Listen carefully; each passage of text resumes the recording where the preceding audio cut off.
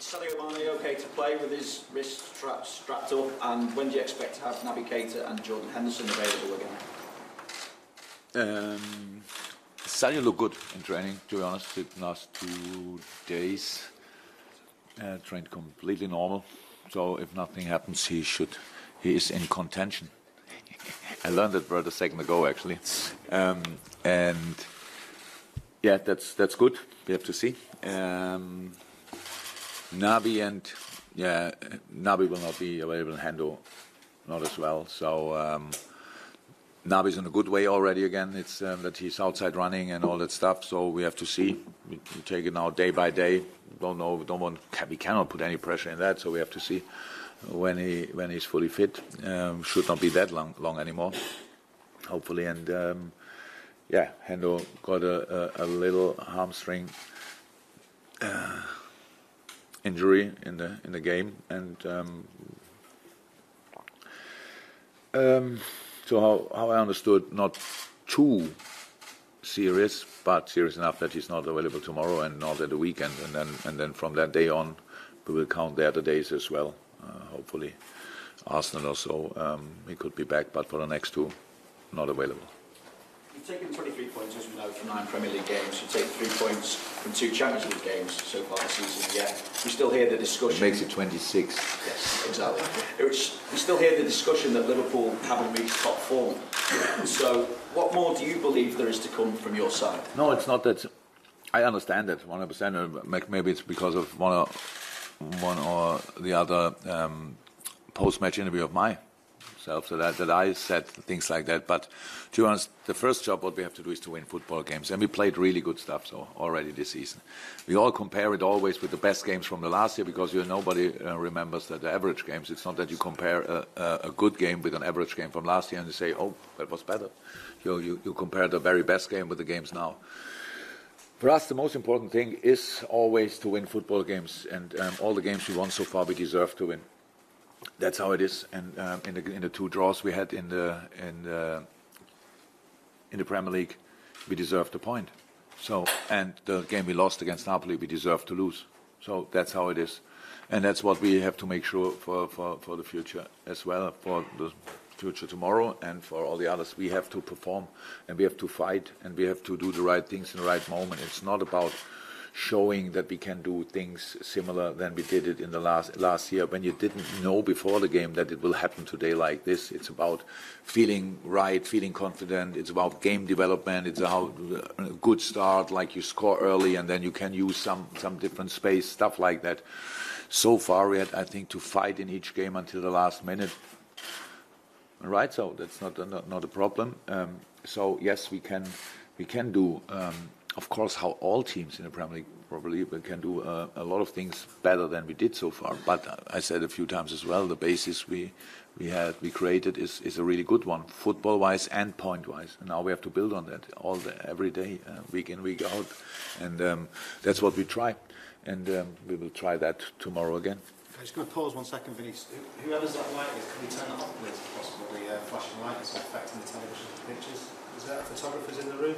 If not, can we turn it? Can we have to turn it off? It's not. Ah. It's not ours. you got it? Throw it off. Yeah. yeah. Thank you very much. There we go. Sorry. And the final question. Final question. yeah, how satisfying is it then that extra solidity that you had this season and that reliance that you have, that I suppose the confidence that you have now on your side that it can go out and grind out a result when perhaps not hitting peak? No, that's good. That's the basis for all for all successful football teams. That's how it is. It should not be easy to, to score against us. It was never. Even when we conceded more, we had, we had this discussion last year. It was there was only the percentage of shots on target and in target was was much more negative than it is now. We don't have we don't concede a lot of shots on target, um, and that's defending actually. And if the ball goes through, you have a goalkeeper. Then what, what helps, of course. And um, we had these situations as well where we needed Ali, um, really, and uh, that's good. Um, on the other side, it's never. It's, we, we, always. It's like last year. I think we spoke a lot about free fluent football and this, and I never had the feeling it's for granted. So it will happen next day again. So it's exactly the same with our defending defending um, solidity that we don't think it's. Um, It will happen again. It's hard work. You have to, we have really to work for it. And what I liked was after the last game, I was not the only one who felt a bit kind of average. we won the game. It's pretty strange. It was influenced in my in my case extremely by the the, the three big counter attacks we had, and we didn't finish off one. So we lost the ball in, in wrong moment. That's why the game was so hectic. If we finish it one of them, then it's done. But we didn't do. And that was, and then they had this half chance. That's why I felt not really good after the game. But for the boys as well, they want to do differently. They want to to be more in charge in a game like this. That it, it's difficult to play against a team like Huddersfield that well organized, and so that will be tomorrow difficult, really difficult. And there's another quality in Huddersfield. Uh, Belgrade is, is really is a, is a is the team of Serbia. So very experienced, good footballing, used to dominant football in, in Serbia, and, and made life really complicated for Naples and for PSG, even if the, the result against PSG doesn't sound like that.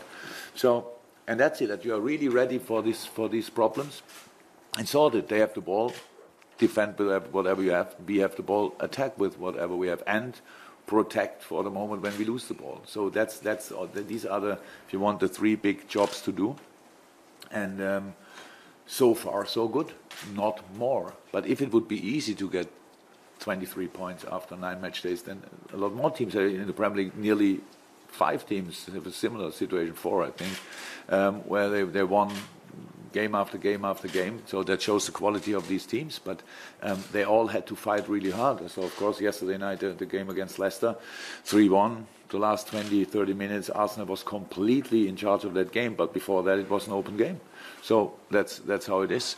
So for us, that means for us, make yourself ready for, for all the challenges ahead. And um, yeah face them, sort them, and win the football games. Andy? Uh, you've got a great defensive record in the Premier League, Jurgen, but you've conceded 13 in the last eight European games. Is it a concern for you? Really? I didn't know, so it cannot be a concern. Um, obviously. Oh yes, so the, the, we conceded a lot against United uh, City, a lot against Rome. That's already pretty much, and then, and then Naples won. That's it. Before that, as in this competition, as long as you go through, ah, and in the final we conceded as well goals. Ah, that's it. Um, yeah, as long as you go through, that's okay. But it's not about. It's not that the difference is not in the.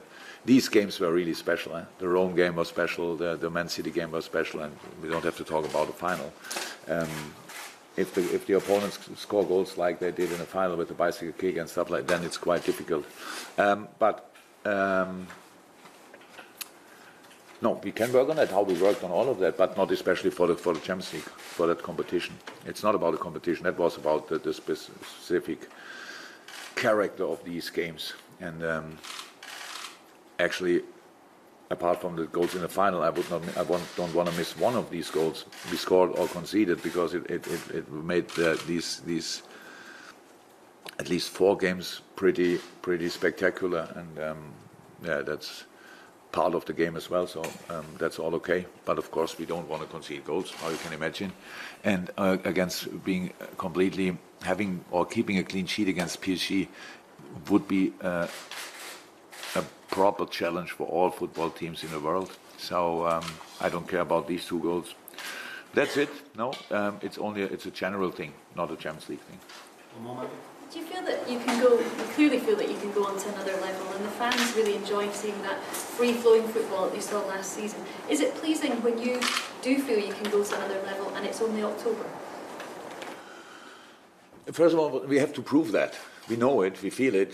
Probably everybody knows it, but then we have to show it that that's how it is. I cannot sit here and say like this and it will it will um, click. So um, yes, it's not it's not. I don't have the feeling of being pleased or whatever. It's um, it's really that I think so far so good, nothing else. So imagine we had a normal start in the season with 18 points then you are already five behind, and it's still a good. It would be still a good start. But so you are now, you have now 23 points, and you're only two ahead and level with another team and stuff like that. So it's just difficult. So we don't have to look on the table. We don't have to look at anything. We have to look on the next opponent, and the next opponent in this case now is Belgrade. That's why we only actually should talk about them and not about the Premier League. And then after that, we can talk about the Premier League again. But that's um, um, just uh, yeah, it looks like it will be a very interesting season, and um, that's good news, I would say, for all the supporters. Um, and um, so, let's see, and uh, that we can um, stay in that race, and um, that would be really cool. And then we'll see what happens. I'm going to go around the room if you want to tap the mic. If you've got a question to ask, I'll go to Phil. I'll come to you, so. Phil from the Association, do you have anything there? No? David, anything from you? I'll tell you what, we'll go to uh, our visitors if you've got a question for for Megan or a couple. Sorry? Hi. You said that uh, wrestling complicated life for Napoli and PSG. How to PSG they, they take six uh, goals. Uh, what, is, what is the way that wrestling complicate the life to rivals? Oh. It's not too difficult. It's in football possible. Everybody knows it. That it's um, to to to defend compact helps a lot. As for, for Belgrade, for sure, the, challenge is a little bit that they are that dominating side in Serbia. So um, winning nine, 80, 90 percent of their games, pretty much. Um, and Champions League is then different because they play against other top teams in Europe, and that makes uh, makes it different. But they, I really think they did well. They did well against Napoli. They had to defend. Yes, Napoli had more more shots on target, everything more, but um, they did well. And um, against Paris, if they open the box of Pandora, then it's open. So then it's if, if Neymar starts scoring from I don't know 35 yards free kicks and stuff like that, then it's then it's nobody can defend that. So it's um, all about. I know that they are able to to defend and that they are able to to create um, as well. Um, the strengths have different possibilities to line up, different strikers to line up, tall, quick, good footballers, good headers.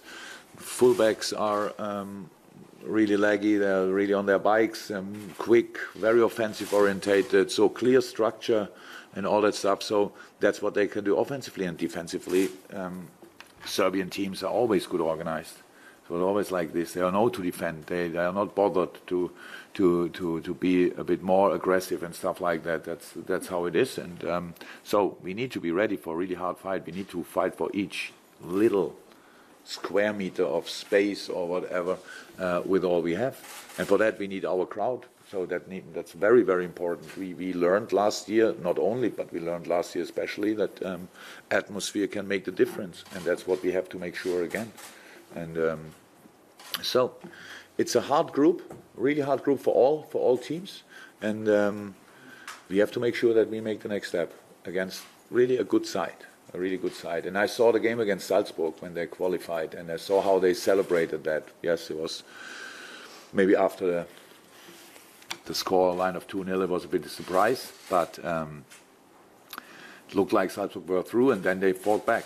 And they used their chances immediately, had five, ten um, fantastic minutes, and change the whole game. And when you saw them celebrating, then you know they will fight with all they have for um, getting points or winning, even winning at Anfield. Yeah, that's it. One more, one more. and then- Do you remember the last generation of Red Star players in Champions Cup? It was against Bayern 91. Pan, uh, oh, I know a few. Um, Prosinecki? Prosinecki was in that team. Remember that team when they eliminated Bayern? When was it? 90? 91. So I was then 23, and it prob- obviously something better to do than watching a Champions League. And, uh, I, I saw it 100%, but I saw since then a few games. But it was a, was an outstanding team. Yeah, and uh, yeah, it was a good team. Last two questions. Uh, David, I'll come to you last. Gentleman there in the. Uh, Hello, first of all, regards from the Serbian press that arrived a bit earlier. Uh, how much do you know about the Red Star team? And you know that Marko Marin, one of the most experienced players of Red Star, didn't travel, he won't be in the plane. So, how, how does that reflect now, maybe on your tactic or something that you were preparing? The Marko is not involved. I know Marko. I, He won't be playing. I know, I know, I know. I heard about it. Uh, but I know him since he was at Frankfurt. I, I lived in Frankfurt when Marko came through the academy of Eintracht Frankfurt, so he was an outstanding player. So I follow his career since then. Um, yes, is he injured or why is he not on the plane? He's injured. He missed the last two games in the cup and in the league, so he has some injury. Yeah. Use the. Yes. No, no. That's a tactic. Yeah. Leaving Marko Marino, that's an interesting tactic. Um, so what do I know? So it's like um, we saw three games. We had uh, focus was mainly on the on the two Champions League games because um, that's and the Partizan game, to be honest, against in in in, in Belgrade. So. uh, And I know I have no clue which lineup they will choose because they have the opportunity. They change the, the, the, the last four as often as possible, stay the same. I would say goalie, three midfield, and then up front they have opportunities, obviously, and, use them. So whatever they want to do, um, I don't know in the moment. How could I know? So, um, and that uh, makes it always interesting, of course. But for my, whatever they, whoever they line up, they are a top team in Serbia, and that makes that always that brings them in with confidence. So that's how it is. They are used to to win football games. That's how it is, and we have to make sure that they cannot come in that mood. So that's it. And, but on the other hand side, and that's why I say it was quite impressive against um, Paris and, and, and Napoli, um, how they defended them, because that's pretty rare for a, for a um, usually very dominating team that you can then switch like this and, and defend like that. And they did it. They did it. And then it's a bit more about counterattacks and stuff like that, but they were ready for that. You can see that they lived their, their big dream, that they really wanted to. I don't know when was it last time that, that, that Belgrade was in the Champions League. It's a I think the last one was in 91st actually. Really? So that's long. That's long. So and then now, now this generation came through and um, in, a, in a very exciting game from actually a situation 2 0 down at Salzburg. They they played really well that day, Salzburg. Eh? So it was, um, and then they, they came through, and that's this kind of miracle. And now they want to extend it. That's how I would um, try to motivate my boys if it's about that. So, and I'm pretty sure um, they will do it the same way, and that's um, that makes it dangerous. But on the other hand side, whoever would come tomorrow night, it's it's a home game at Anfield, and we want to win it. We, we are not sure if we can, but we will try everything what we're doing. It's not the nicest thing to do to play against us, to be honest. It's not that you, it's, it feels like holiday. It's exactly what we have to make sure again and uh, make a proper fight of it because Belgrade will fight 100%. And um, yeah, we have around about 30 hours time um, to prepare that, and that's what we will do. Final question, David.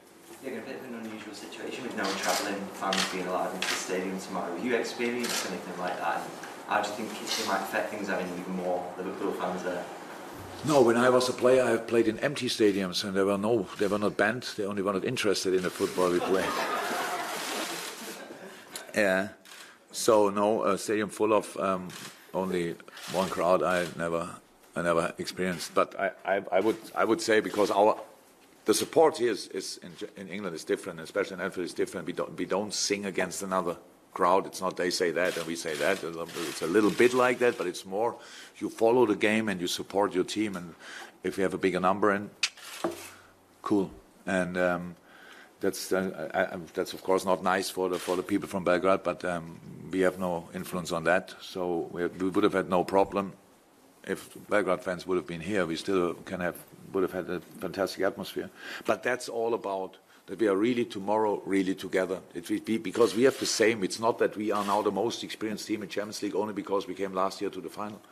We are still pretty fresh in comparison to a lot of other other teams in, in that competition. And we have to make sure that this one advantage, what we can have in our home games, our crowd is there 100%. That's it, and that's what we should make sure. Um, I'm pretty sure we are ready, but I only only a little reminder for all of you eh, on your toes. Um, and then um, it will be difficult for, for, for Belgrade, and um, that's the first job to do to make it difficult and uncomfortable for the opponent. Okay, guys.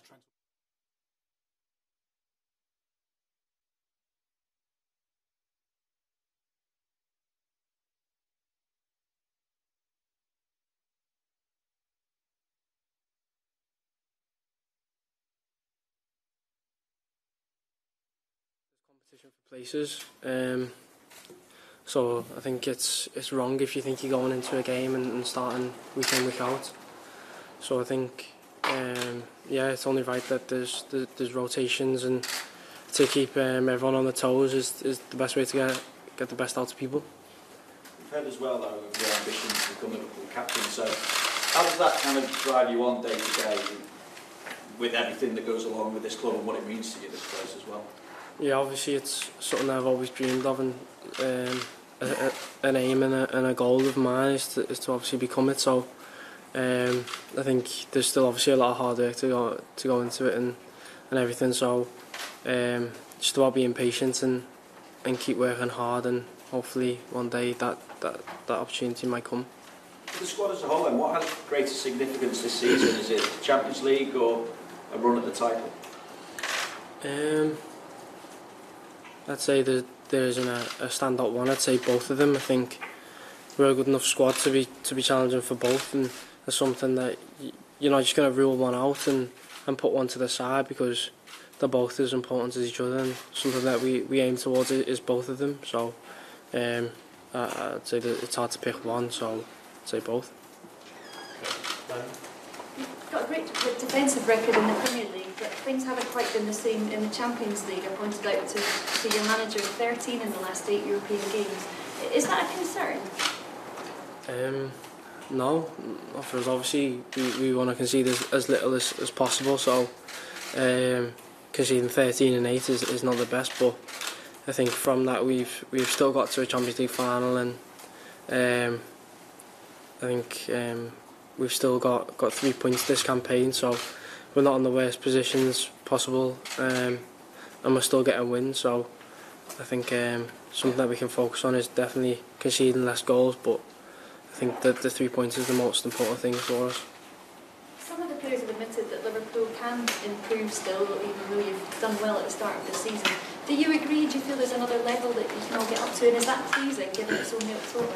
Yeah, definitely. I think um, we we know there's still a lot to give and that we can still get better at a lot of things, and there's always room for improvement. So it's something that we're all excited about, and something that we know that we we need to, to strive towards is, is, is getting better and putting in better performances and, and reaching our full potential as a team. Okay, Sam? Trent, does the result in Napoli make it tomorrow night even more important? Um, potentially, yeah, but that's something that we're not focused on. We're, we're focused on ourselves, and I think every game we want to go in and get the three points. So it doesn't really matter what situation we're in. The the objective is always going to be getting the three points, and I think that that that will that will be the, the same tomorrow. And the fact that Red Star drew with Napoli in their first game proves that tomorrow to be a tricky test. Yeah, definitely. I think all teams in this competition are are, are not just taking part; they're, they're here, and Red Star have showed that they're not scared of of um, potentially bigger teams, and we know that they'll they'll come here and be looking to take points off us, and that's something that we'll be preparing for. Okay, any other questions for Trent? Yes, gentlemen. Do you know about the Red Star team and who will you be playing against and who can who will be attacking you tomorrow if you get to be in the starting lineup there? Well, uh, sorry, I didn't hear that one. How much do you know about the Red Star team and about the players that you will be you know, facing against tomorrow that will be on your side that you will be guarding? Um, obviously, it's um, um, we haven't done the analysis on it yet. We'll probably do that later on. So um, I'm not too familiar, but no matter who it is, we we got to prepare the same way, and uh, we know it's going to be a tough test, and we know that um, that whoever it is is going to be difficult. So we'll we'll be preparing for it, and, and hopefully we'll we'll be looking to get the better of, of the team. Obviously going into these games last year was a, a new experience for you. How, given that experience you got last year, it feel a lot more comfortable and a lot more sort of, you know, what to expect a little bit more? Um, yeah, obviously, um, at first you're nervous and, and um, new to, to the situation as as with anyone, so it takes a little bit of time to get used to. And I think now I've, I've probably got a little bit more used to it, but still, it's it's probably one of the, the biggest occasions, the Champions League, and um, no matter who the opponent is, it's it's still um, still going to be a difficult test, and it's um, something that that we're, we're looking to go really far in.